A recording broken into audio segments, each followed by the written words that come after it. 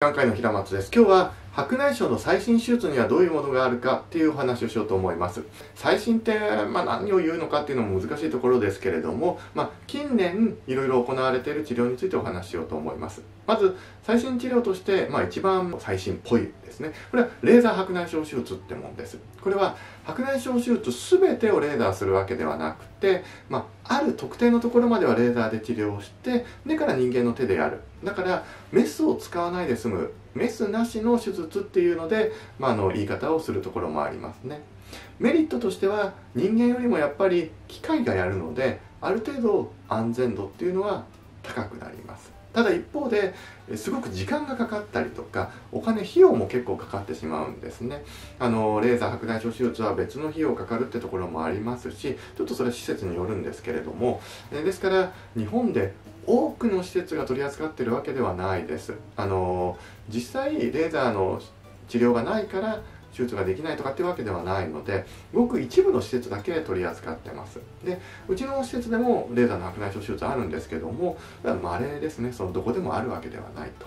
でレーザーした方がいい人とそうじゃない人というのはやっぱりいますので誰でも彼でもレーザーがいいってわけでもないですね。どうしてもこうインターネットとか見ますとレーザーするといいですよみたいにこう書いてあるとこあるんですけどもこれってどうしてもその費用がかかってしまうのでで結構な値段する機械だから積極的にやりたいって施設もやっぱちょっとあるんですね。いいとこばかりとは限らないので。あのただある特定の人にはもちろんいいんですよ。いいんですけれどもそこら辺をちゃんと分かってやらなければいけないので何でもかんでもレザーにしましょうとかちょっとそれは違うってことですね。点目としては多焦点眼内レンズっていうことですね。焦点が遠くと近くとか遠く中間近くとか、まあ、とはイードフって言っていろんな要はどこかが見えてそれ以外も、えー、眼鏡なしで見えるっていうようなレンズです。これは手術自体が最新なわけではなくて手術した時に入れるレンズの種類がちょっと違うってことですね。ただちょっと問題点としては普通のレンズよりは鮮明度が落ちるっていうことと費用が結構高額になってしまうっていうことがあります。特にこの多焦点とさっき言ったレーザー治療っていうのは費用がかなり高額になるのでインターネット上の情報が逆に変に溢れてるところがあっていいよいいよって情報ばっかりですね。また逆に悪いよ悪いよって情報だけを言ってる人もいるんですけれども両極端なあの情報が多いです。でも現実はまあその中間ですね。あのいい点もあるし悪い点もあってそこら辺はですね結構まあいろんな経験を積まないと分かんないところでもあるんですね。うちも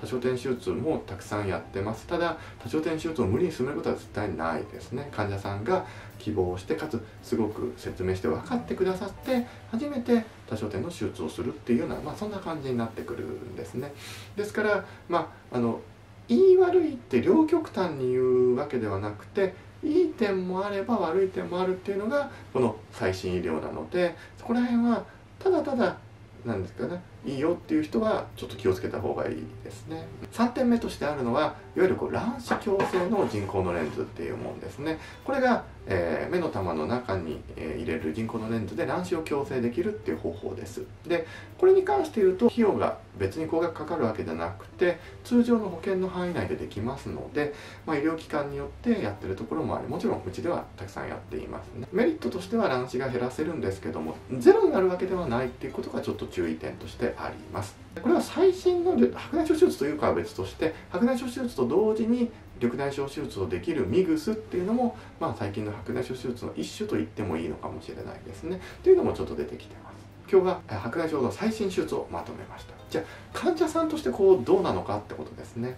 まず大切なことはこの情報を知らないでいるというのはやっぱ良くないのでこう知ってるってことはいいことです。その上で最新だからいいとは限らないってことですね。で何でもかんでも高いものばっか進めようとする人はちょっと気をつけた方がいい。あの医者ももちろんいい人たくさんいますけど悪い人もある一定数いますのでそこら辺を分かって治療した方がいいですね。もちろん悪気なくそれが本当にいいと思ってあの高いものを進めてるってことはそれは別にいいことなんですけれどもまあいい人も悪い人もいるってちょっと思っていただければと思います。今日は最新治療、えー、最新の白内障手術のお話をしました、